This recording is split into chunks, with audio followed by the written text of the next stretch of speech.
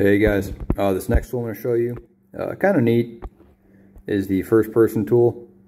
Uh, if you click on this, it effectively takes the map and then flattens it out and you know makes it appear as if you are first person to what's going on. Um, these two joysticks on the side, I can control my position with it. I don't find it incredibly intuitive. In fact, I think it's pretty goofy. But, you know, say I'm some low-level plane flying above Three Elk Creek in Colorado. This is apparently what it looks like, right?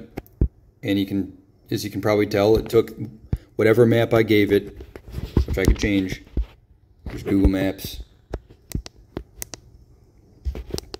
whatever, Google Sat, and it overlays it with that DTED elevation information, and it creates this pseudo 3D map.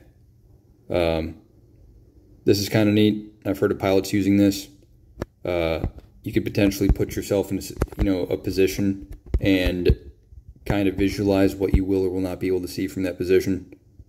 Um, forewarning, a lot of times when I run this, it makes ATAK crash. Whatever, it is what it is. Uh, but, and tap location for first person view. This puts you on the ground level. So this is exactly what it looks like in Colorado. Exactly.